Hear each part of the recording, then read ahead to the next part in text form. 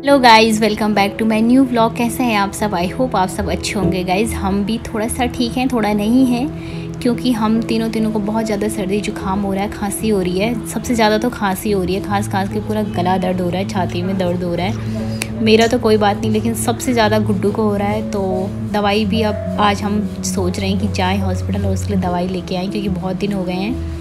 नहीं ठीक हो रहा है। जो घर पे दवाई थी वो मैंने दी थी, लेकिन उससे नहीं फ़र्क पड़ रहा है। आयुर्वेदिक दवाइयाँ मैं दे ही जा रही थी अपने घरेलू नुस्खे वाले उसको, लेकिन नहीं फ़र्क पड़ रहा है घरेलू नुस्खों से तो अब उसको हॉस्पिटल लेके जाना ही पड़ेगा। और यहाँ पे अभी बज रहे हैं सुबह के साढ़े नौ तो आज ना हम लेट उठे हैं, क्योंकि आज है शनिवार और गुड्डू और उसके पापा, दोनों को आज ऑफ़ रहता है शनिवार को। तो यहाँ पे मैं बना रही हूँ सूजी का हलवा। आज क्योंकि लेट हो गया तो मैंने सोचा हल्का फुल्का नाश्ता बनाते हैं और लंच फिर जल्दी से बना देंगे। और यहाँ पे मेरा जो कैमरा था वो अच्छी से सेट नहीं हो रखा था तो वीडियो नहीं आ रहा था शायद मेरा तो इसलिए इसी पापा ने उसको ठीक कर दिया। और उसके बाद फिर मेरी शक्ल भी आ रही है और मेरी कढ़ाई की शक्ल भी आ रही है। और यहाँ पे साथ ही साथ मैं दाल भी साफ़ कर रही हूँ, क्योंकि हलवा तो हल्का ही नाश्ता है तो जल्दी से भूख लग जाएगी। इसलिए मैंने सोचा दाल भी उबालने रख देती हूँ साथ के साथ, क्योंकि मोटी दाल है ना, इसलिए मोटी दाल जल्दी उबलती नहीं है। तो यहाँ पे ये दाल ना मेरी मम्मी ने गाँव से दे रखी है, घर की दाल है ये, पहाड़ी दाल।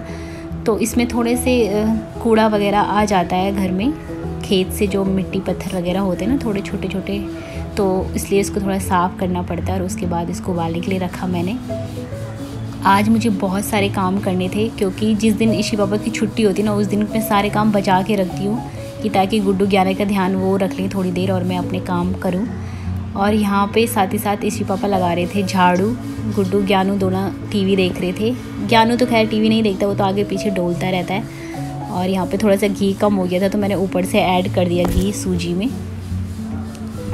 सूजी को जितना देर तक भुनेंगे, जितने धीमी आँच में भुनेंगे, उतनी अच्छी मतलब खुशबू आती है और अच्छा बनता है हलवा। कल मैंने बनाया था यहाँ पे क्योंकि वारा लक्ष्मी थी तो यहाँ पे लोग मीठा बनाते हैं कर्नाटक, बेंगलोर में। तो मैंने भी बनाया था कल, लेकिन कल ना इसी पापा खा नहीं पाए थे क्योंकि वो ऑफ़िस चले गए थे, मैंने लेट बनाया था। वो नाश्ता करके चले गए थे तो वो उनको हलवा नहीं मिल पाया था। तो इसलिए मैंने फिर आज दोबारा से उनके लिए हलवा, मैंने कहा, चलो, हलवा ही बना देते काफ़ी लेट भी हो गया है नाश्ते में। पे हम हलवा बना रहे हैं और वो भी गुड़ का हलवा बना रहे हैं। गाइस तो गुड़ का हलवा तो बहुत ही हेल्दी होता है। चीनी नहीं डालती मैं मैं हमेशा गुड़ के साथ ही इस हलवे को बनाती हूँ। गुड़ का पानी मैंने उधर उबालने के लिए रखा हुआ है साइड में। तो गाइज़ ये हाउस वाइफ का टैलेंट होता है कि एक साथ तीन तीन चार चार काम कर लेती हैं। तो मैं भी वहाँ, यहीं पे दो दो तीन तीन काम एक साथ कर रही हूँ, हलवा भी बना रही हूँ, साथ के साथ दाल भी चढ़ा रही हूँ और मतलब बहुत सारे काम दिमाग में चल भी रहे थे कि ये करना है, वो करना है। तो इसी पापा ने झाड़ू लगाया, फिर उसके बाद मैंने पोछा लगाया और फिर हमने नाश्ता वगैरह किया। फिर बहुत सारे काम थे दिन के छोटे मोटे सारे काम तो गाइज़ हम रिकॉर्ड कर ही नहीं पाते मतलब बहुत सारे काम होते हैं वीडियो नहीं बन पाता हर किसी काम का। और आज तो बहुत ही ज़्यादा पंगा हो गया था, जब मैं बर्तन धो रही थी ना तो वहाँ पे पूरा पानी जमा हो गया था और पूरे किचन में पानी पानी हो गया था, क्योंकि वो नाली शायद बहुत दिन से साफ़ नहीं करी थी तो गंदा हो गया था। फिर उसके बाद हमने वो साफ़ करवाया और बहुत सारा ऐसे ही निकल गया था आज का पूरा दिन। तो यहाँ पे बन रहा है हलवा। और यहाँ पे जो है हलवा अच्छे से हमारा भुन चुका है। पता है, जब मैं हलवा बनाती हूँ ना तो मैं उसको देखती रहती हूँ, देखती तो मुझे पता नहीं चलता कि ये ब्राउन हो गया या नहीं हुआ। तो इसलिए मुझे पता ही नहीं चलता। फिर मैंने इसी पापा को बुलाया। फिर उन्होंने बोला, अब हो रहा है। फिर यहाँ पे मैंने डाल दिया गुड़ का पानी, उसमें ऐड कर दिया और बस। बाकी उसके बाद ऊपर से ड्राई फ्रूट ना मैंने अलग से डाले हैं, क्योंकि गुड्डू को पसंद नहीं है। यहाँ पे ज्ञानू कर रहा है, अपना नाश्ता, गुड्डू भी कर रहा है। ये देखो, ज्ञानी तो अपने हाथ से ही खाएगा और पापा भी लगे हुए अपने ऑफ़िस के काम के साथ साथ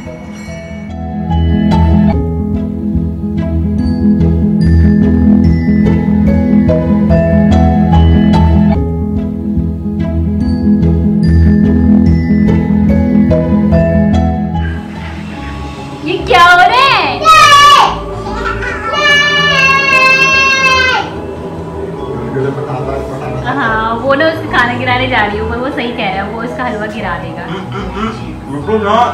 देखो नीचे यहाँ पे रखा हुआ तुम्हारा ही खाओ आओ। आ जाओ बच्चा।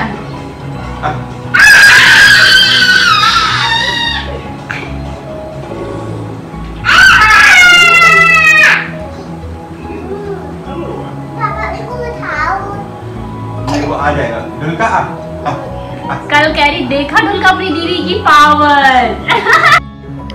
नाश्ता ख़त्म होने के बाद गाइस अब आती है बर्तन धोने की बारी और सुबह नाश्ते में पता नहीं क्यों इतने सारे बर्तन हो जाते हैं ना, मुझे तो समझ ही नहीं आता है। जबकि नाश्ते में कम बर्तन होने चाहिए, लेकिन नाश्ते में सबसे ज़्यादा बर्तन होते हैं। तो यहाँ पे मैं आ गई थी बर्तन धोने के लिए और मैं बर्तन धोए जा रही थी, धोए जा रही थी और नीचे ना पानी जमा हो रहा था, मुझे पता ही नहीं चल रहा था। जब वो पूरा भर के बाहर निकलने लग गया नीचे से, तब मुझे पता चला कि यार ये क्या गड़बड़ हो गई। फिर उसके बाद उसको ठीक करने में बहुत सारा टाइम निकल गया।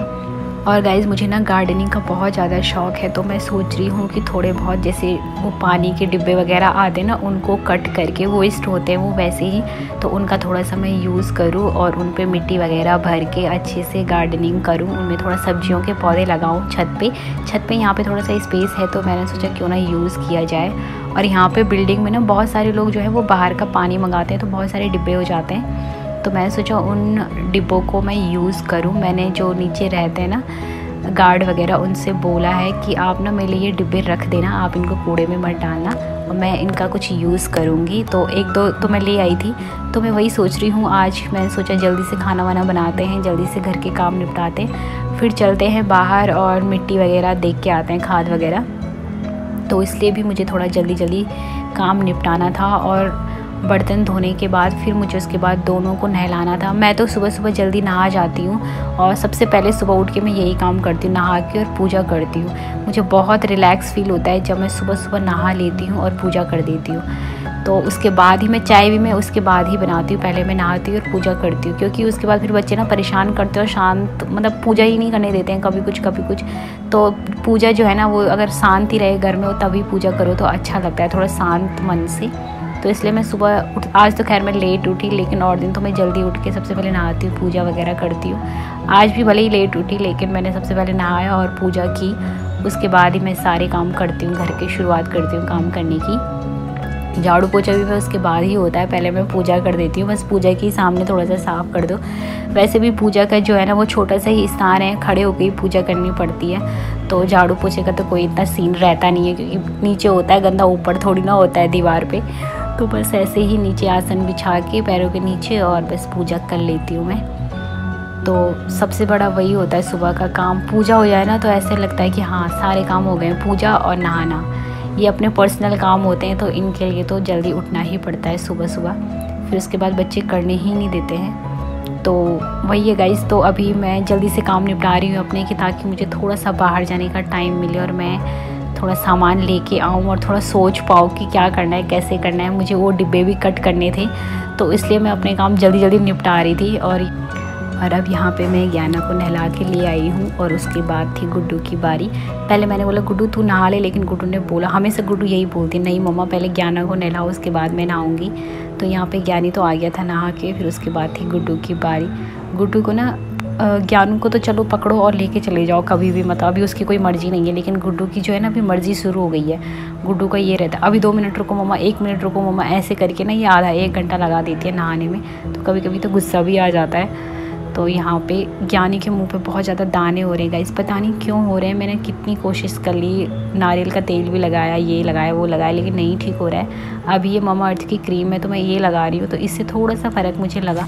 तो गाइज़ यहाँ पे तो हो गया ज्ञाना का मेकअप मतलब उसको लगा दिया है क्रीम ऑयल वगैरह। उसके बाद मैं गुड्डू को ज़बरदस्ती पकड़ के ले गई हूँ नहलाने के लिए, नहीं तो ये नहीं जा रहा था। और इसको ना बहुत दिन से नहलाया भी नहीं है, क्योंकि उसको जुकाम वगैरह हो रहा था बहुत ज़्यादा तो इसलिए तीन चार दिन से उसको नहलाया भी नहीं है। और अभी भी इसका मन नहीं कर रहा था नहाने के लिए जाने का, इसलिए मैं ज़बरदस्ती इसको पकड़ के ले गई और फिर मैं इसको नहला के ले आई हूँ। और आज भी ना मेरे गले में बहुत ज़्यादा दर्द हो रहा है, मैं बोल भी नहीं पा रही बीच बीच में बहुत ज़्यादा खांसी हो रही है। तो गाइज़ आई होप आपको मेरा ये ब्लॉग जो है वो पसंद आया होगा। कोई भी अगर गलती हो तो प्लीज़ माफ़ कर देना और चैनल को सब्सक्राइब ज़रूर कर देना। ब्लॉग को लाइक करना शेयर करना कमेंट करना और प्लीज़ सब्सक्राइब करना। बिल्कुल मत भूलना चैनल को। मिलते हैं नेक्स्ट ब्लॉग में, तब तक के लिए बाय